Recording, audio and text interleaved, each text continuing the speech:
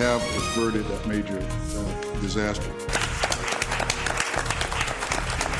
That surprising announcement triggered uh, an applause and even shock as well, as water officials revealed that running water will continue without interruption in Prince George's County which is what we've been fearing that would not happen for the last couple of days or so now. Now, tonight we're getting a better idea of how, in the span of just a few hours, the system went from being at critical risk to being able to sustain the replacement of a major water main. Now, the Washington Suburban Sanitary Commission just wrapped up a news conference.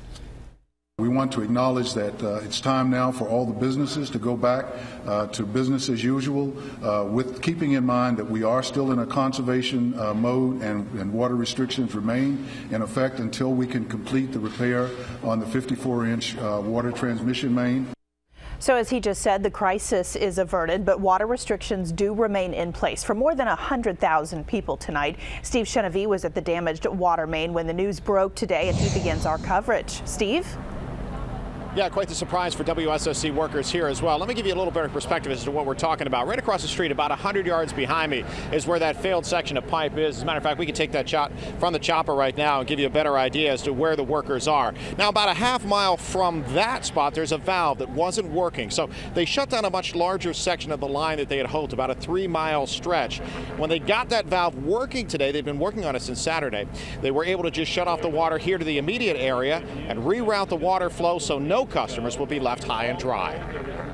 I couldn't imagine how this was going to work out.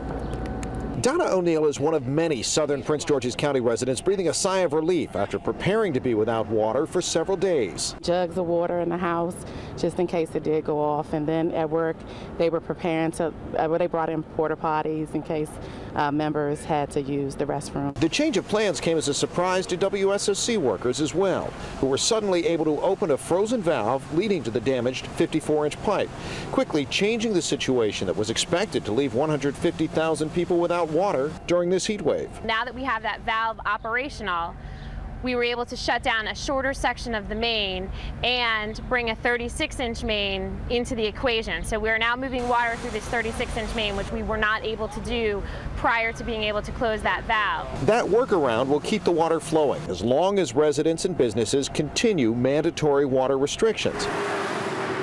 While some businesses like this hotel will still lose money because guests checked out and booked elsewhere, many residents like Angela McCall couldn't be happier with today's developments as they will no longer have to worry about saving every precious drop.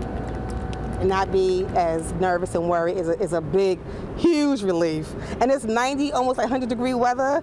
We don't need like not to have any water. Yeah, you can sense that relief from the residents to the WSSC workers. As far as the job at hand here, they're still working to get that broken piece of pipe out. It's going to take a few more hours. Now, coming up at 6 o'clock, we're going to take a closer look at the high-tech way that workers were able to detect that that pipe was about to burst before it actually did. That's at 6. Live in Forestville, Steve Chenevey, ABC 7 News. All right, Steve, thank you very much.